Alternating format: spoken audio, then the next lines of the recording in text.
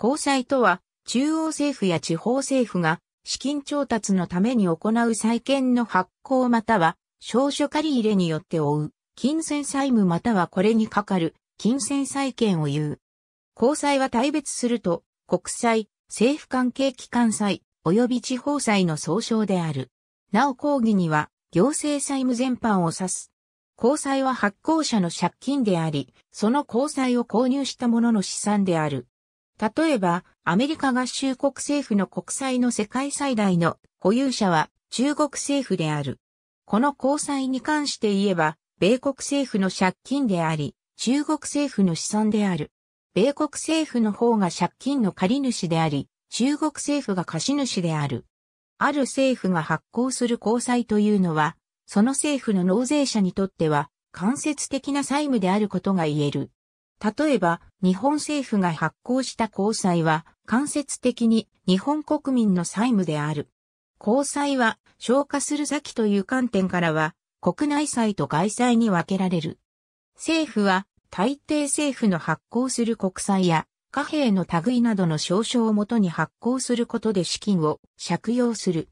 信用の低い国家では、市中銀行や国際的な機関から資金を借用する。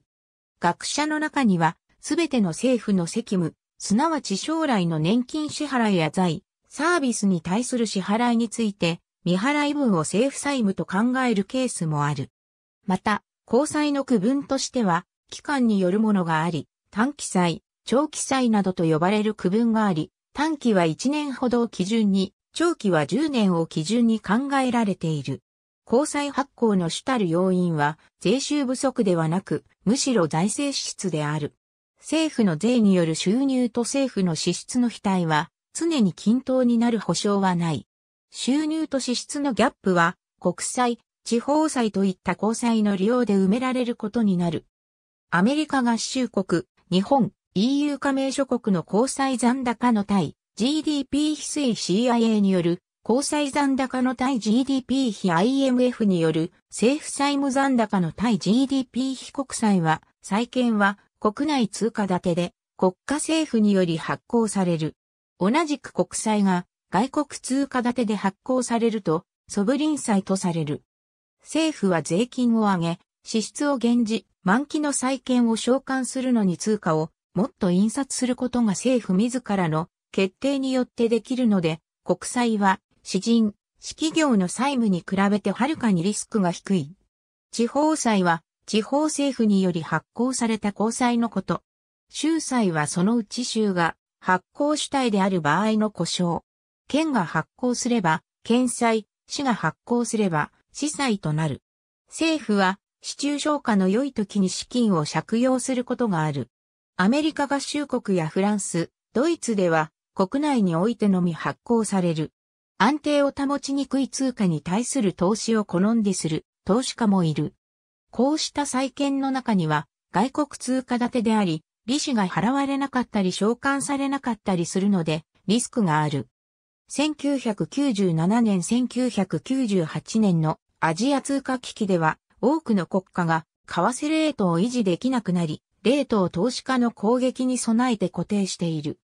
アメリカ合衆国、日本、ドイツの一般政府負債の対 GDP 比、交際金利負担の対 GDP 比2012年4月20日時点の IRA オフィス屋外の国際時計交際とは、国、地方自治体などすべての公的機関の債務から自国通貨での償還額を差し引いたものである。CIA ワールドファクトブックには、交際の対 GDP 比のみが記載されており、交際残高及び国民人人あたりの交際額は、同報告書に記載されている GDP 及び人口の数値で算出される。債務残高の対 GDP 比は、交際の重要性を評価する、最も広く認められた手段の一つである。例えば、欧州連合のユーロ導入の修練基準では、導入申請国の債務残高が対 GDP 比で60%以下であることを要件としている。ソブリン債は第二次大戦以降には主要な公的政策の問題となり、戦災の取り扱いの問題を含めて、1980年代の双子の赤字や1998年のロシア財政危機のショック、1998年から2001年のアルゼンチン通貨危機がある。日本で言えば、郵便局の債務など交際は、政府の借金であり、国民の資産でもある政府資金、小術、一般。ありがとうございます。